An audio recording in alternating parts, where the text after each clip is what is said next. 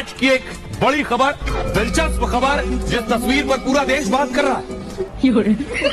बोलता भारत की इस पोस्ट को जरा गौर से देखिए। लिखा है दुनिया नौकरी के लिए यूपी आएगी। विधानसभा में सीएम योगी ने कहा। पता है ना आप सबको? नहीं। रुको जरा सबर करो। अब बाबा जी के इस बयान को सुनने के बाद लोग बस बाबा जी से यही पूछ रहे हैं कि बाबा जी फिर ये लोग कौन है? इलम है मंदिर है हिंदू मुस्लिम है। यही है। तो रोज़गार तो है नहीं वहाँ तो शिक्षा का अनुपात बराबर। शिक्षा मंत्री बताया अयोध्या में जो मंदिर बना है उसी में हम लोग पढ़ लिख के अपना बाबागिरी करेंगे बस। हरामी हो। यहाँ का है भैया? रोज़गार मांगने बिहार आ पा रहे हैं। देखिए होता तो हम लोग रोज़गार होता तो हम लोग यहाँ आते नौकरी के लिए। आप आप अंदाज़ा खुद लगाइए इस बात का। यूपी टेट का एक बार कराए पेपर लीक हो गया। दोबारा कराए दोबारा कराए तो पिछले साल का पेपर दे दिया। सब क्या देखना पड़ रहा है। है यूपी में यही सच्चाई है। पाँच साल हो गया भैया ने बताया कोई प्राइमरी वैकेंसी नहीं आई है। अगर आप मतलब मीडिया के मतलब कार्यकर्ता हो तो आप चाहो तो खुद सर्च कर सकते हो नेट का जमाना है। ठीक है? और ऐसा नहीं है। मतलब कहने की सरकारें तो अपना मतलब बताती ही है अच्छाई बताती रहती है। लेकिन ऐसा कुछ नहीं है। अयोध्या में जो मंदिर बना है उसी में हम लोग पढ़ लिख के अपना बाबागिरी करेंगे बस। कैसे कैसे लोग रहते हैं यार यहाँ पर?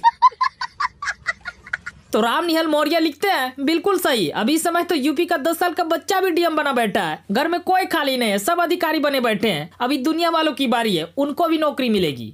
हमारे मतलब मत सिखा। तो आनंद पाल लिखते हैं सही तो कहा योगी जी जब नौकरी ढूँढने से भी नहीं मिलेगा तो ज़ाहिर सी बात है ये शोध का विषय बन जाएगा। और हो सकता है कि दुनिया के कुछ देश नौकरी ढूँढने का शोध करने के लिए यूपी आए। भाई कुछ ज़्यादा नहीं हो गया नहीं।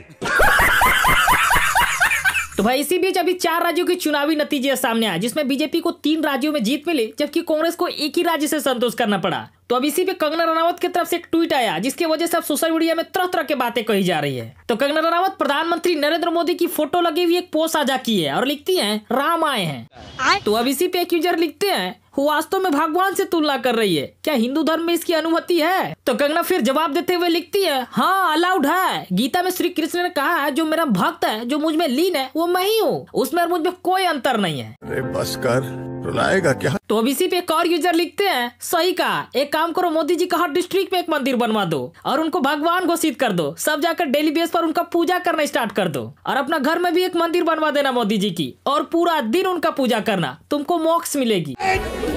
अरे निकालो इस अधर्मी को यहाँ से। प्रो हिंदू नामक यूज़र द्वारा लिखा जाता है भगवान तो पता नहीं पर तुम्हारा पापा ज़रूर घोषित हो गए। सही पकड़े हैं वैसे आप कंगना रनावत और उत्तर प्रदेश के मुख्यमंत्री योगी आदित्यनाथ के बयानों को लेकर क्या सोचते हैं, आप अपनी राय कॉमेंट बॉक्स में ज़रूर।